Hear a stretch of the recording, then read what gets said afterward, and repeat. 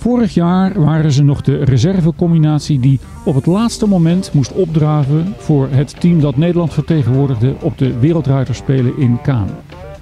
Nu staan de spotlights volop gericht op Diederik van Silverhout en Arlando NH-NOP.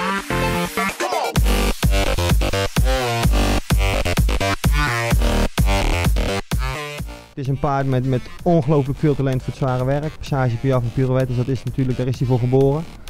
En eh, een paard met, met ontzettend veel inzet en, uh, en een meewerkend karakter. En daarbij is het ook nog mooi, dus uh, wat willen we nog meer?